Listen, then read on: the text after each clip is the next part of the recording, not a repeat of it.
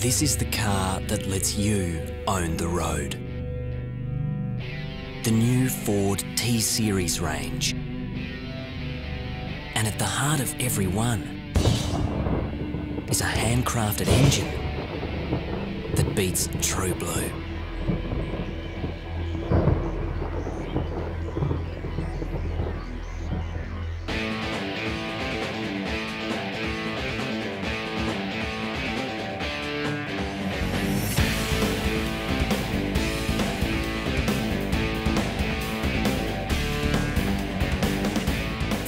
Five point six litres of unadulterated driving passion.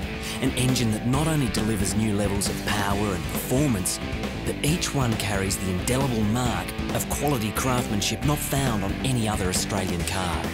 All of the parts which change it from 5 litre to 5.6 come from Australia. The crank, the conrods, pistons, head modifications, roller rockers, manifold, throttle body, all come from Australia.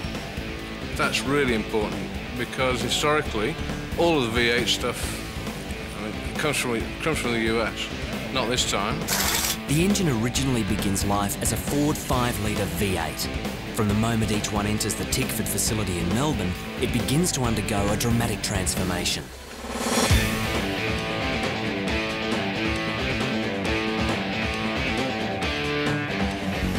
The engine is first stripped down to the cylinder block.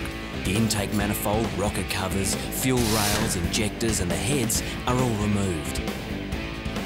Then the cylinder block assembly is further dismantled with removal of the camshaft and lifters. Following this, the pistons, conrods and crankshaft are removed and consigned to the recycling bin to make way for new parts. The cylinder block is completely washed to remove all traces of lubricant. Thick steel torque plates are bolted to the cylinder block to simulate the distortion that occurs when the cylinder heads are installed. All cylinders are then honed to remove any taper and to produce a near perfect round cylinder. The cylinders are then finished with a plateau honing tool to further improve ring sealing and effectively run in the cylinder. The new crankshaft goes through a delicate in-house balancing process, complete with weights to simulate the conrod and piston assemblies. This ensures that it's finely tuned for the engine's eventual 250 kilowatt output. The crankshaft is fitted to the cylinder block, followed by the new lighter pistons and solid billet conrods, all engineered in Australia to suit the increased stroke of the 5.6 litre engine. The camshaft is replaced with a Tickford developed high performance version. Its profile helps the engine breathe better. From here, the reassembly of the top end can begin.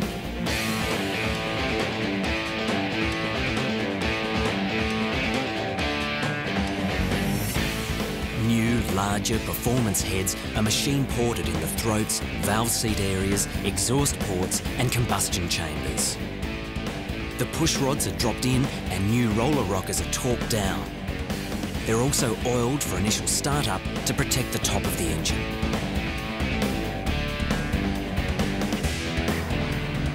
Prior to the final stage, each engine is refitted with the original inlet manifold and undergoes a thorough hot run test.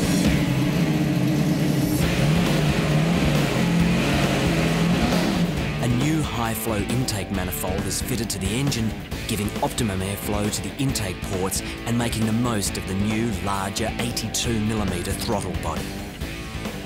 The engine's injector rails go back on after the fuel pressure regulator has been modified to deliver more fuel. The original exhaust manifold is replaced by an all-new assembly featuring high-temperature ceramic-coated headers. Then the final touch, the signature of the Tickford technician whose hands have personally transformed this engine into another 250 kilowatt firebrand. And the result at the end of this exhaustive process? Awesome. It is good. It is a really good engine to drive. Um, it, it demonstrates torque from very low revs. Uh, it revs out freely. It revs out easily. And yet, it's a dream to drive around the streets. Look, Bush has done a really good job.